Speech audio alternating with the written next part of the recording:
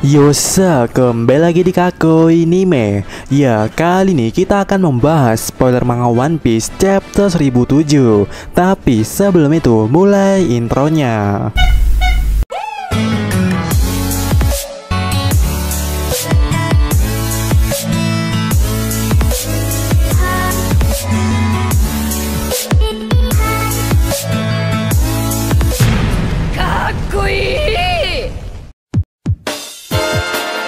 Uh, ya, di awal chapter atau di chapter ini diketahui kondisi secara umum yang terjadi di lantai utama di mana virus SOD bekerja, yang mana sebagian besar anggota Mima Warigumi dan Oniwa Bansu telah dikalahkan oleh Hyogoro dalam modenya itu, mode Oni.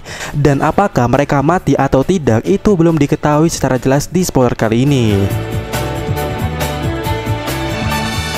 Nah, di sisi lainnya, Queen berbicara dengan bawahan kroconya yang terkena Koryoni ini atau Oni yang nampaknya cukup kesal dan marah di mana Queen dengan jelas mengatakan bahwa mereka ini tidak berguna dan itu ya mengenai mental para kroco ini yang mendengar perkataan Queen itu.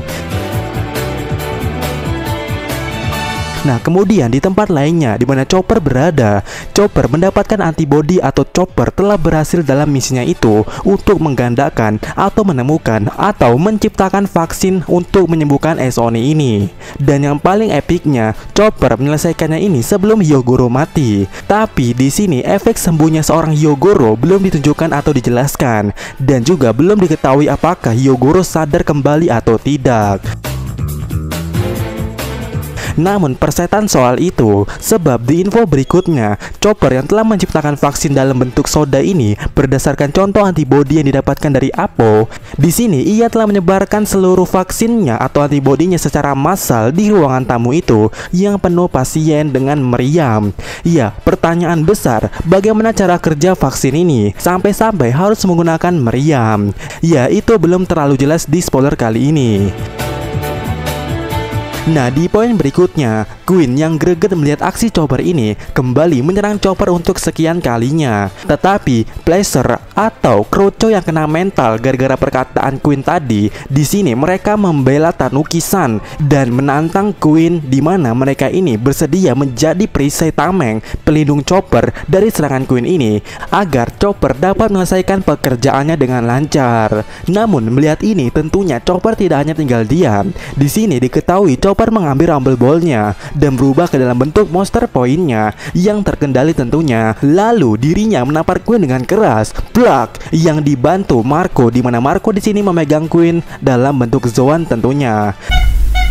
Nah, di tempat lainnya, kini diperlihatkan Yamato dan Momono Laknat yang muncul di chapter kali ini.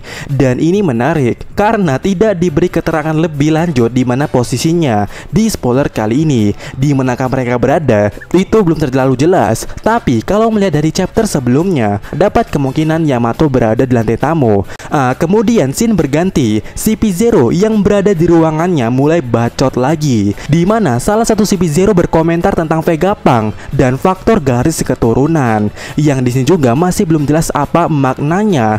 Tapi jika bicara soal Vegapunk dan garis keturunan, sosok seorang keturunan Vegapunk mungkin ada di Onigashima ini. Apakah Frankie? Ya, siapa yang tahu. Nah, di tempat lainnya, tempat di mana Akazaya berada, di ruangan itu ya ternyata mereka yaitu para Akazaya bertemu karakter menakjubkan dan nampaknya mereka sangat terkejut dan identitas karakter misterius itu akan dijelaskan di sini dan karakter misterius itu ternyata adalah Kozuki Oden yang entah bagaimana ceritanya dirinya mampu kembali berada ke hadapan Kinemon dan Akazai lainnya alias dengan kata lainnya Kozuki Oden datang ke Onigashima.